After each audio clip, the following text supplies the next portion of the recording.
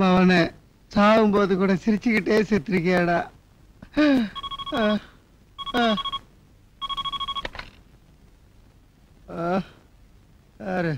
காளையா. நீ எனக்கு கொடுத்தது பத்தினி சோகம் நான் உனக்கு கொடுத்துருக்கிறது புத்தர சோகம். நீ சாகர வரைக்கும் இதை நினைச்சு நினைச்சு துடிக்கணும். உன் ஆட்டத்தை இதோட நிறுத்தலைன்னா உன் அஸ்தியும் கடல்ல கரைச்சிருவேன்.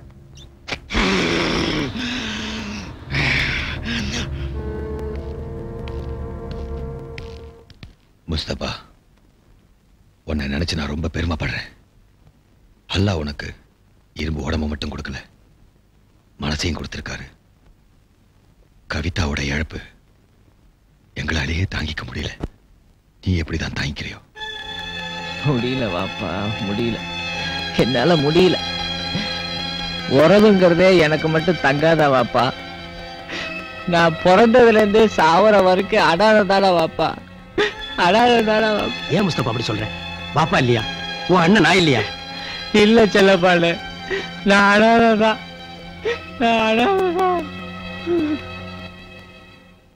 இதே ஏக்கத்தோட தான் பத்து வயசுல நீ எனக்கு கிடைச்ச.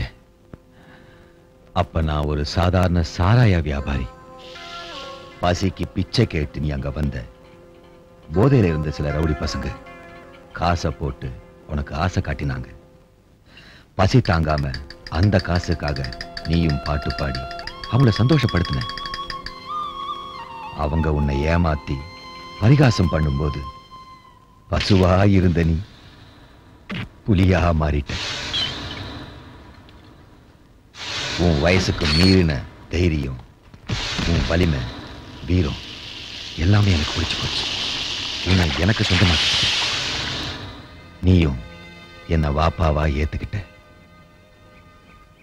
கூட பிறக்காத அண்ணனா செல்லப்பா உனக்கு கிடைச்சான் ஒரு சாதாரண சாராய வியாபாரியா இருந்தனா இன்னைக்கு ஒரு சாம்ராஜ்யத்துக்கே முதலாளி.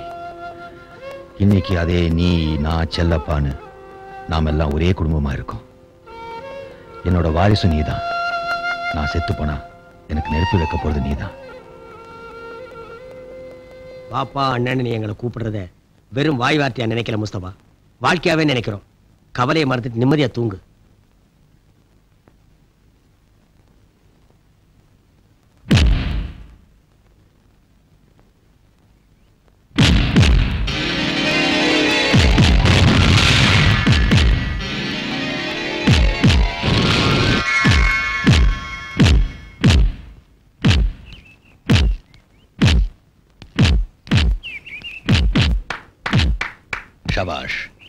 எங்க உன் வேகமும் வலிமையும் குறைஞ்சு போயிடுமோன்னு கவலைப்பட்டேன். அது குறையல. இன்னைக்கு உனக்கு ஒரு முக்கியமான வேலை தரப்போறேன். பழனிசாமி நம்ம மேலெடுத்த தாக்கி பேச ஒரு பொதுக்கூட்டம் கூட்ட போறான். அது அவனுக்கு அனுதாப கூட்டமா மாறணுங்கிறியா வாப்பா? சரியா சொன்னேன். சரியில்லை வாப்பா. நீ போட்ட உப்புக்காக எத்தனையோ தடவை ஆயுதத்தை தூக்கிக்கிறேன் ரத்தத்தை பார்த்துருக்கேன் அதனால புருஷனை பறி கொடுத்த பொம்பளைங்க தகப்பனை பறி கொடுத்த பிள்ளைங்க அழிஞ்சு போன குடும்பங்க எத்தனையோ இருக்கு. அதெல்லாம் இப்ப நினைச்சா மனசுக்கு கஷ்டமா இருக்கு. இது வரைக்கும் நான் எத்தனையோ குடும்பத்தை அழிச்சிருக்கேன். அதனாலதான் அல்லாஹ் எனக்கு குடும்ப வாழ்க்கையே இல்லாம பண்ணிட்டார். வன்முறைக்கு கடைசியா பலியானது என்னோட கவிதாவா இருக்கட்டும். நான் கடைசியா பழி தீர்த்தது காளையனோட மகனோட போகட்டும். என்ன விட்டுருவாப்பா. சர்வைவல்னு வந்துட்டா சென்டிமெண்ட் பார்க்க கூடாது முஸ்தபா. என்ன தொந்தரவு பண்ணாத. கொஞ்ச நாளைக்கு இதெல்லாம் விட்டு நான் ஒதுங்கி இருக்கலாம்னு பாக்குறேன். முஸ்தபா நான் என்ன சொல்ல வரேன்னா? என்ன மன்னிச்சிருவாப்பா வாண்ணே. தம்பி நம்ம ஆபீஸ்ல விஜிலன்ஸ் நுழைஞ்சிட்டாங்க. எப்ப? கவிதாவுக்கு விபத்து நடந்த போது உன் மனநிலை சரியில்லை. உங்ககிட்ட சொல்ல வேணும்னு வாப்பா சொல்லிட்டார். நல்ல வேளை தடையும் எதுவும் கிடைக்கல. நம்ம ஆளுகளும் தப்பிச்சிட்டானுங்க. பாவம் அந்த அப்பாவி சுந்தரேஷ் தான் உள்ள போயிட்டான். தம்பி அவன் சம்சார ஆபத்தான நிலைமையில ஆஸ்பத்திரியில் இருக்காங்க. அந்த குழந்தைகளை கவனிக்கிறதுக்கு ஆள் இல்ல. நம்மளும் கவனிக்கலன்னா அந்த குடும்பம் வீணா அழிஞ்சு போயிரும்பா. அண்ணே ஹாஸ்பிட்டல்ல போய் அந்த அம்மா எப்படி இருக்குன்னு பார்த்துட்டு வா. நான் சுந்தரேசனை ஜாமீன்ல வெளியே எடுத்து வரேன். சரி தம்பி.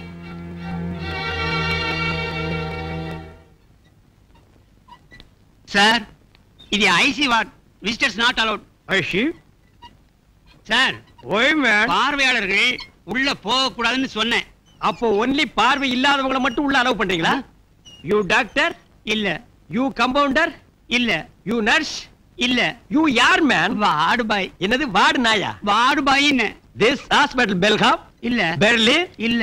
ரோம் இல்ல. இட்டாலி இல்ல. மாஸ்கோ இல்ல. திஸ் நாட் அதர் கண்ட்ரி ஆமாங்க. இது எங்கடா இருக்கு? தமிழ்நாட்டுல இருக்கு. அப்புறம் ஏன்டா இங்கிலீஷ்ல பேசுனா தகரப்பா மூஞ்சி? தமிழ்ல பேசுறா? திஸ் ஐசி ஆமாங்க. You see I see not I see vitamin C you outside wait see. குச்சி I stopping see I go inside see ஓசி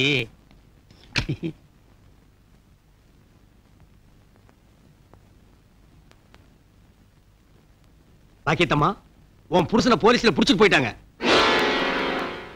ஜெயில தள்ளி முட்டி உடைக்கிறாங்க. ஐஸ் மேல உட்கார வச்சு மூஞ்சில பண்ணி மூத்திரத்தை ஊத்துறாங்க. ஆயுடா தூக்கான்னு தெரியல. அநேகமா தூக்குத்தான்னு நினைக்கிறேன். ஐயோ எங்க ஆத்துக்காருக்கு என்னாச்சு? அவர் என்ன பண்ண? கையை நீட்டி காசு வாங்கிட்டாமா? ஐயோ என்னாச்சு? யார் நீங்க? I doctor Chellappa. நவ் அம்மா ஆல் ரைட். பேச்சு மூச்சு இல்லாம இருந்தாங்களே. என்ன பண்ணீங்க? நீங்க கொடுக்கறது விஞ்ஞான வைத்தியம் நான் கொடுத்தது அதிர்ச்சி வைத்தியம். ட்ரை பண்ணி பார்த்தா ஒர்க் அவுட் ஆகி போச்சு. அதிர்ச்சி வைத்தியமா? யா! பல மாசமா கை கால் விளங்காம படுத்திருக்கிறவன ஒரு சொறி நாய் துரத்துச்சுன்னா பதினஞ்சு அடி வாய்க்கால ஒரே ஜம்புல தாண்டி எகிரிடுவான். தட் இஸ் அதிர்ச்சி வைத்தியம். ஏற்கனவே சித்த வைத்தியம் நாட்டு வைத்தியம் மூலிகை வைத்தியம்னு போட்டியா பல பேர் இருக்காங்க. நீங்க புதுசா அதிர்ச்சி வைத்தியம்னு எங்க வயித்து பொழப்ப கெடுத்துறாதீங்க. அம்மா ரெடி நான் அழைச்சிட்டு போலாமா? தயவு செஞ்சு அழைச்சிட்டு போங்க. I am visiting card doctor Chellappa AB CD EFGH அப்படின்னா? மத்த டாக்டர் எல்லாம் பேருக்கு பின்னால இங்கிலீஷ்ல எழுதிருக்காங்களே அதெல்லாம் புரிஞ்சுட்டா ஜனங்க வைத்தியம் பாக்குறாங்க அவங்களும் ஒரு குத்து மதிப்பா எழுதிருக்காங்க நானும் ஒரு குத்து மதிப்பா எழுதிருக்கிறேன் ஒரு முக்கியமான விஷயம் உங்க டாக்டர்கள்ல யாருக்காவது அதிர்ச்சி வைத்தியம் கத்துக்கணும் ஆசை இருந்தா அவங்கள நம்ம பக்கம் அனுப்புங்க. அம்மா வாங்க வாங்கம்மா வாங்க. ஐயா நாலு வைத்தியம் பார்த்து அவங்களே கும்பிடுறீங்க? போருண்டா கண்ணா. கை வலிக்க போறது. பாக்யம் நல்லா? கேடி நேக்கு நன்னா இருக்குண்ணா. நல்லா இருக்கேன். நீ எப்படி வெளில வந்த? நீ உள்ள போயிட்டல்ல? அவங்க வெளிய வந்துட்டாங்க. எல்லாம் இந்த டாக்டர் செல்லப்பா கொடுத்த அதிர்ச்சி வைத்தியம் தான் என்னண்ணா இது? உங்களை ஜெயில போட்டுட்டான்னு அவர் சொன்னாரே. அதுக்காக வருத்தப்படாதமா சந்தோஷப்படு. ஜெயில பத்தி எங்க ரெண்டு பேருக்கு தான் தெரியும். பெரிய பெரிய தலைவர்களை அறிவாளிகளை எல்லாம் உற்பத்தி பண்ணி வெளிய அனுப்புற ஃபேக்டரி அது. இன்னும் ரெண்டு தபா சார் ஜெயிலுக்கு போயிட்டு வந்தாரு வைய. மிஸ்டர் சுந்தரேசன் மினிஸ்டர் சுந்தரேசனா கூட ஆகலாம். பாக்யம் அன்னைக்கு உன் உயிருக்கு ஆபத்துனதும் நான் நில குலைஞ்சு போயிட்டேன்டி. நான் நானாவே இல்லை. அன்னைக்கு என்ன நடந்தது? நான் என்ன பேசினேன்? இதெல்லாம் இப்ப நினைச்சு பார்த்தா கூட எனக்கு எதுவுமே ஞாபகத்துக்கே வர மாட்டேங்கிறது முஸ்தபா. உன்னை பத்தி எனக்கு தெரியாதயா நீ வெகுலியா உன்னை இத்தனை நாளா மாமூல் வாங்கு மாமூல் வாங்குன்னு கட்டாயப்படுத்திக்கிட்டு இருந்தேன். அதே முஸ்தபா இப்ப சொல்றேன். நீ வாங்காத. என்ன மாதிரி புறம்போக்குங்க நாட்டுல பல பேர் இருக்கிறனால தான் ஜீவ நதியெல்லாம் வத்திக்கிட்டு இருக்கு. உன்ன மாதிரி நாலு சுந்தரேசன் இருக்கிறதுனால தான் மெட்ரோ வாட்டர் தண்ணியாவது உருப்படியா கிடைச்சிக்கிட்டு இருக்கியா? என் மேல என்கொயரி கமிஷன் வைக்க போறாங்களாம் என்கொயரி கமிஷனா? அது ஒழுங்கா நடக்காதுங்கிறதுக்காகத்தான் என்கொயரி கமிஷன்லயே கமிஷன் ஒரு வார்த்தையை அவனுங்களே வச்சிருக்கானுங்க. நோ ஒரி என்ன அரெஸ்ட் பண்ணாரே ராஜாராம். அவர் ரொம்ப கெடுபடியானவராமே. அணுகிற விதத்துல அணுகுனா கெடுபடி கூட எடுபடி ஆயிருவான். இன்னும் கொஞ்சம் கிட்ட அணுகுனா கெடுபடிய கொடுமுடிக்க அனுப்பி வைக்கலாம். ஒண்ணும் கவலைப்படாத நாங்க பாத்துக்கிறோம். அம்பி அப்பாவுக்கு அடிக்கடி குப்புன்னு வேக்குதுடா. மூஞ்சி தொடச்சு படுக்க வைங்க. முஸ்தபா இந்த குடாக்கு என்ன ஊமன் நினைச்சிட்டு இருக்கிறான். அதையே நான் கண்டினியூ பண்ணிக்கிறேன். நீ கண்டுக்காத.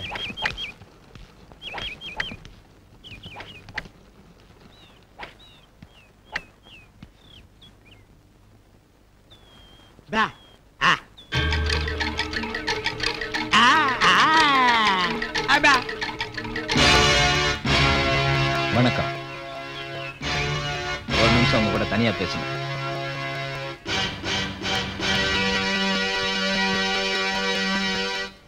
நீங்க நீங்க ராசாராம் வயசு இருபத்தெட்டு சொந்த ஊர் கும்பகோணம் படிச்சது ஐபிஎஸ் இதுக்கு முன்னாடி வேலை பார்த்தது விசாகப்பட்டினத்துல இப்ப வேலை பார்க்கறது விஜிலன்ஸ் டிபார்ட்மெண்ட்ல. கடமையில கண்ணும் கருத்துமா இருக்கிற கல்யாணமாகாத கட்ட பிரம்மச்சாரி. ரைட் அப்பா யார் மேன் நீ? முஸ்தபா. ஓ அந்த சுந்தரேசனை ஜாமீன்ல எடுத்த அடியாள் நீதானா? உன்ன மாதிரி அடியாளுங்களுக்கெல்லாம் மரியாதை கொடுத்து எனக்கு பழக்கம் இல்லை. உன்ன மாதிரி அதிகாரிகளுக்கு மரியாதை கொடுத்து எனக்கு பழக்கம் இருக்கு.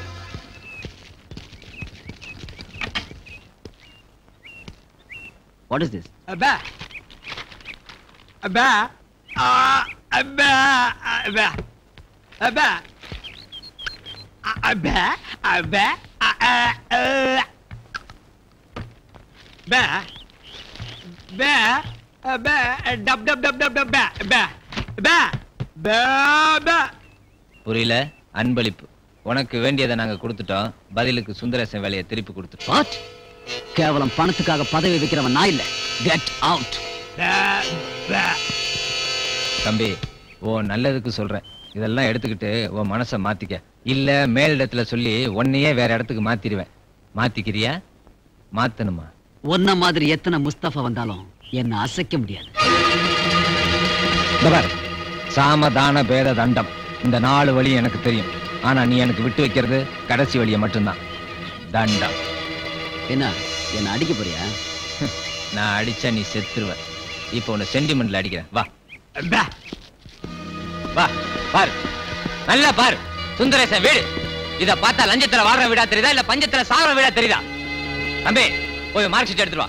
பாக்கட்டும் விஜிலன்ஸ் ஆபீசர் முஸ்தபா. ஊரை கொள்ளடிக்கிறவங்க விட்டுருவானுங்க. ஓரமா ஒண்ணு கடிக்கிறவன புடிச்சு வந்து பெருமையா கேஸ் எழுதுவானுங்க போலீஸ்காரனுங்க. அந்த மாதிரி இருக்குது பாரு. தொண்ணூத்தாறு பெர்சென்ட் வாங்கியிருக்கான். இந்நேரம் அவர் லஞ்சம் வாங்கியிருந்தாருன்னா அவர் பையனுக்கு சீட்டு வாங்கியிருப்பாரு. பாரு அந்த அம்மா அவர் சம்சாரம். சம்சாரம்னா என்ன குடும்பம்னா என்னன்னு கழுத எனக்கும் தெரியாது உனக்கும் புரியாது. அந்த அம்மா உயிருக்கு ஆபத்துனவன அந்த ஆள் அடப்பணம் ஆயிட்டார் அந்த நேரமா பார்த்து அவர் கையில விலங்கு மாட்டி இப்ப நீ போஸ்ட்மார்டம் பண்ணிக்கிட்டு இருக்க. பண்ணு.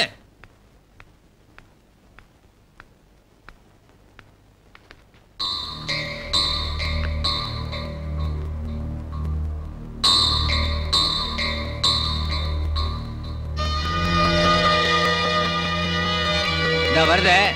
இதான் அவர் பொண்ணு. இவர் மட்டும் லஞ்சம் வாங்கியிருந்தாருன்னா என்ன அந்த பொண்ணுக்கு பெரிய இடத்துல கல்யாணம் பண்ணி கொடுத்துருப்பாரு. கையை நீட்டுறதுக்கு அந்த ஆளுக்கு மனசு இல்ல. அதனால கழுத்தை நீட்டுறதுக்கு அந்த பொண்ணுக்கும் வாய்ப்பு எல்லாம் போச்சு. இது வரைக்கும் நான் எவனையும் கையெடுத்து கும்பிட்டது இல்ல முத தடவையா இந்த குடும்பத்துக்காக உன்னை கையெடுத்து கும்பிடுறேன். தயவு செஞ்சு அவங்கள வாழ விடு. உன்கிட்ட கொஞ்சம் தனியா பேசணும். அப்பா இப்பவாது இறங்கி வந்தியா? கொஞ்சம் எல்லாரும் உள்ள போங்க. போங்க. போயா? ம் சொல்லு. இப்ப வந்தது சுந்தரசம் பொண்ணு தானே? ஆமா. இல்ல. சொல்லு. பொண்ணு எனக்கு ரொம்ப பிடிச்சிருக்கு.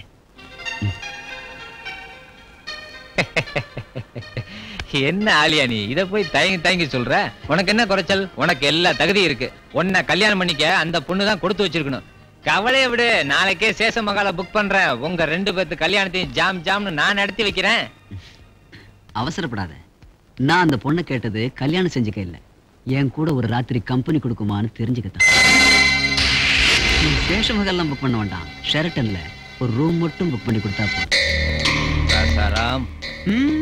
முஸ்தபா நான் ஒன்றும் பொம்பளை பிடிக்கல எனக்குன்னு வித்தியாசமான ஒரு டேஸ்ட் இருக்கு. ஆயிரம் பொண்ணுங்களை பார்த்தேன்னு வச்சுக்க அதுல ஒரு பொண்ணு. ஒரே ஒரு பொண்ணு என் டேஸ்ட்டுக்கு ஒத்து போயிடும். இந்த பொண்ணு அந்த டைப்ல இருக்கு. நீ என் தேவையை கவனிச்சுக்க. சுந்தரேசன் வேலை விஷயத்த நான் கவனிச்சுக்கிறேன். என்ன? இட்ஸ் டீல்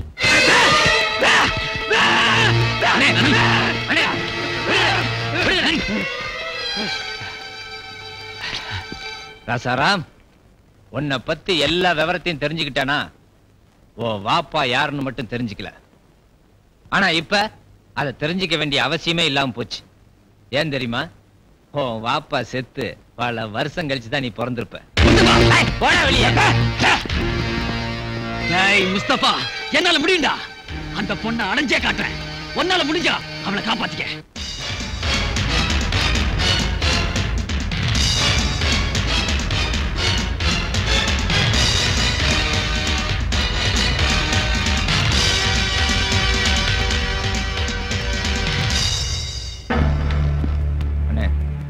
நடந்த விஷயம் நமக்குள்ளேயே இருக்கட்டும்.